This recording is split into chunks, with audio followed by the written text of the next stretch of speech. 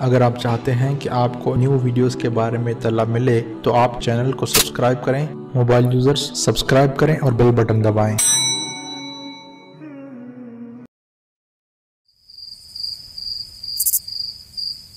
Good night baby.